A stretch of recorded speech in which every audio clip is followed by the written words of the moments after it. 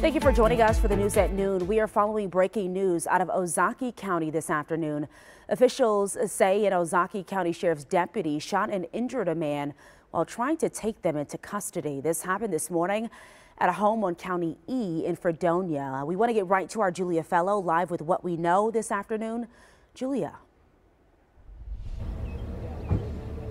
Simone, good afternoon. You can see we're in a very remote area in northern Ozaukee County where we have seen many forensic teams coming through, going to what appears to be this farm. They're conducting a felony search warrant on this vast property here on County Highway E and Pioneer Road.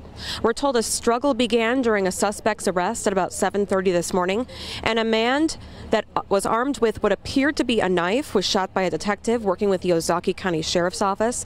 The detective was hurt and has minor injuries, and the suspect is in the hospital now in serious condition. We are working to learn more about the specific search warrant, but we do know that internet crimes against children investigations can involve catching suspects accused of grooming children online for criminal purposes, such as producing and distributing child pornography. Again, we're looking we're working more to learn about the specifics about this case and search